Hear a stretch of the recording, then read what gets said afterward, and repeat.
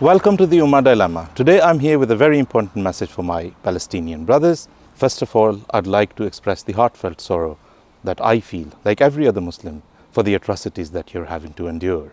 After that, I want to request you to seriously think about the solution to your problem because your opponents are seriously thinking about it.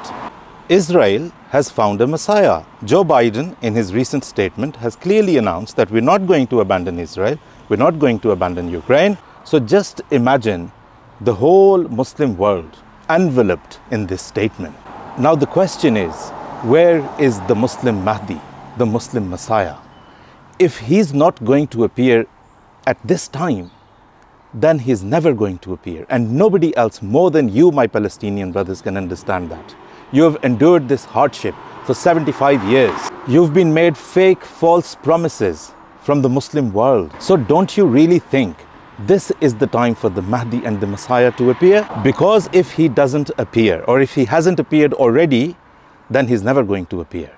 Then the Mahdi Messiah myth is actually a myth and not reality. But we know that it can't be a myth. It's been promised to the Muslims by the Holy Prophet Muhammad that a savior will come in the form of a Messiah and Mahdi. So this is the time when the Messiah should appear or should have appeared. Now one might ask that if he has appeared, why can't he be seen? And it's a very valid question to ask. But let me give you a quick example.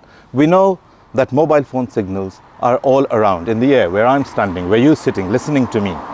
But we can only catch those signals once we switch our phones on. If we leave them off, signals will be around, but you won't be able to catch them. Same with satellite television signals. They're in our houses, they're in our homes, they're in our living rooms, but we don't catch them. Our television sets don't catch them until and unless we switch the television set on. So maybe it's about setting ourselves in the mode where we try and identify Him.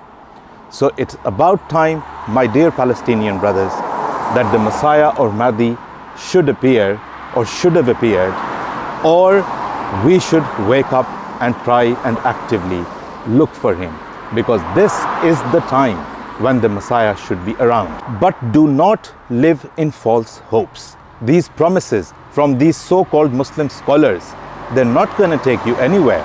They've used you, they've misused you, they've abused your cause for their commercial purposes. They're not taking you anywhere. They haven't. 75 years is almost a century, just 25 years short of a century.